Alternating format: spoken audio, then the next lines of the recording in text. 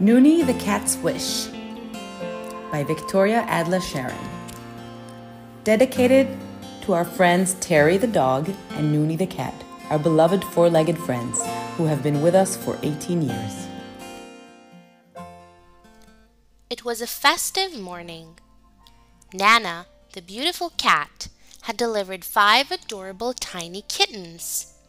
She was very excited, and everyone gathered around her, happy and cheering. The sun in the sky smiled wildly and shined over the trees and flowers. The birds released balloons in a variety of colors, and only Nooni, the white cat, meowed sadly. He neither touched the red tuna nor licked his body, as cats usually do. He also wanted to have kittens and be the center of attention, as everyone fusses around him, shows concern, and takes interest in him. Nooni climbed the tree in quick leaps and announced out loud, My wish is to have kittens just like Nana, my friend, but I can't.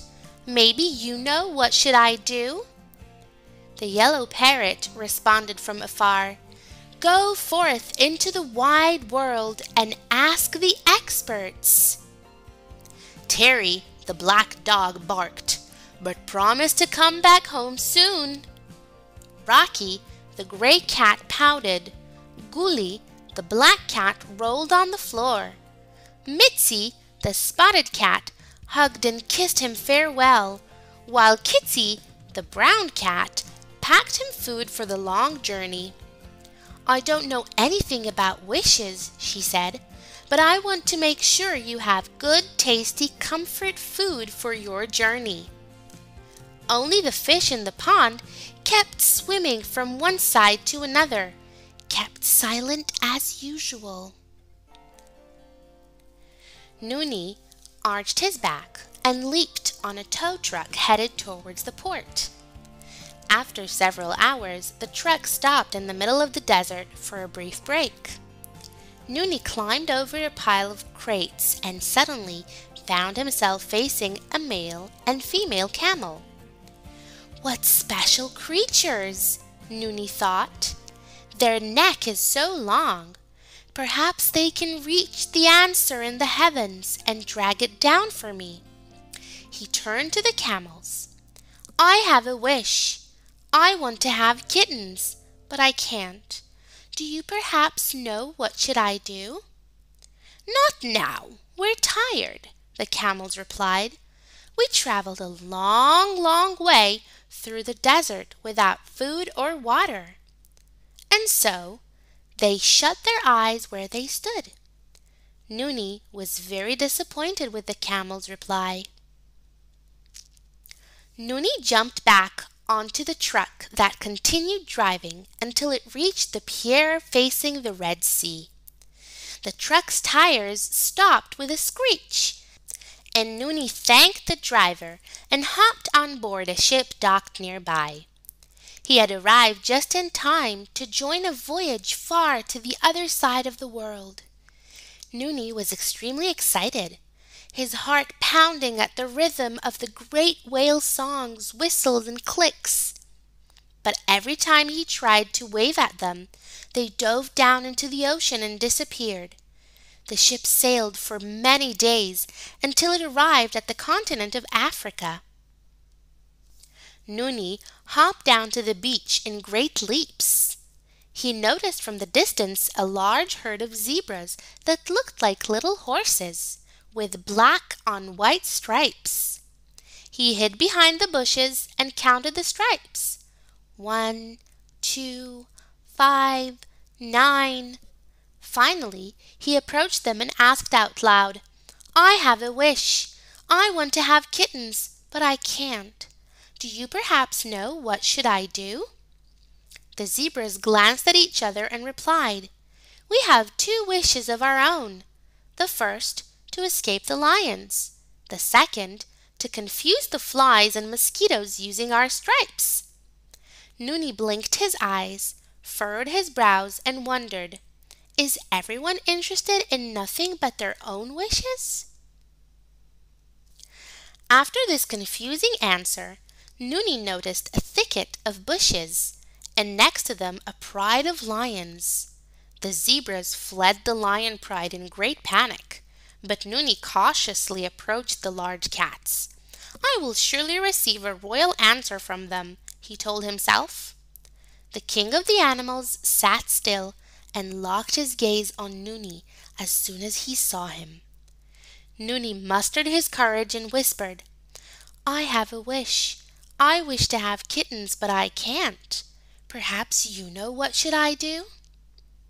The lion just continued indifferently staring at him as the lioness, who sat beside him, protecting her cubs, came to his aid. Everyone has their own wish, she said. My wish, for example, is to go out into the great world and have many adventures. But I have no time for that because I must care for my own tiny cubs. But I am willing to grant you my wish. Thank you, replied Nooni, and quickly walked away. Should I change my wish? he wondered. Nooni began feeling hungry and knelt over the river banks where big and small fish lazily swam. After a brief hesitation, he leaped into the water and caught a fish. Suddenly, his ears picked up on some rustling leaves.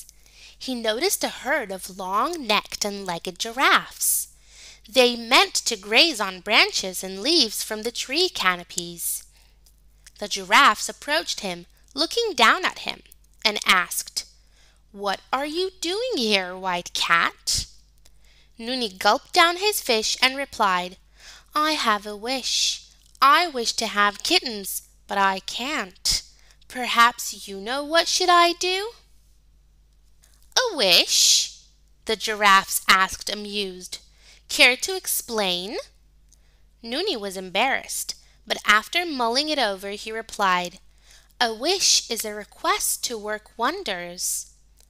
The giraffes opened their eyes wide and declared, Then we too have a wish to be protected from hunters and predators. Nooni was glad he had helped the giraffes discover their own wish. He only wondered, how does one protect oneself from hunters and predators? Noon came, and the sun had risen behind the trees, gently stroking the monkeys leaping from tree to tree, feasting on fruit and grunting at the top of their lungs. One beautiful female monkey approached Nooni and told him, I couldn't help overhearing your conversation. You're my hero. You have the courage to travel far just to accomplish your wish. I wish you success.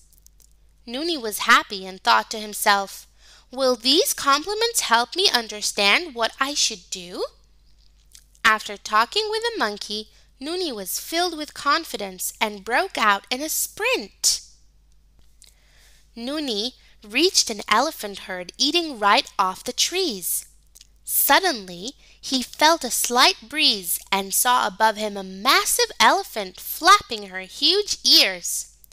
The elephant's long trunk sprinkled him with tiny water drops and lifted him high into the sky, billowing like a trumpet. Nooni found himself hanging between heaven and earth. He felt he was in danger, but he would not give up. Dear Elephant, I have heard that you have an excellent memory and special powers. Please fulfill my wish and teach me how to have kittens. The wise elephant lowered Nooni to the ground, and all the elephants replied in chorus, You don't need us to fulfill your wish. The answer is in your heart. Wow, thought Nooni to himself, do elephants have secret knowledge?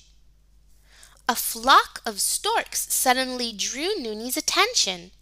They were resting after a long journey and clicking with their beaks. Nooni silently approached them, not to scare them, and said politely, I have a wish. I wish to have kittens, but I can't. Perhaps you know what should I do? The storks exchanged mysterious glances and replied, We can help you. We have a special gift that would work wonders. And they drew close and whispered a secret in his ear. Thank you, storks, cried out Nooni in joy and broke out in a joyful dance. Suddenly a miracle happened, just as the storks had promised. Nooni felt the answer in his heart. I know, I know who I am. I am Nooni. I am happy with who I am, and I don't need to fulfill this wish to have kittens like Nana. It is good and right for me to be myself, because I am who I am, and that is just perfect for me. Nooni returned to the ship and began the long journey home. He was happy to return to his friends as he had promised. The sailors cheered him on, and Nooni bowed to them. This time the great whales blew him a kiss farewell.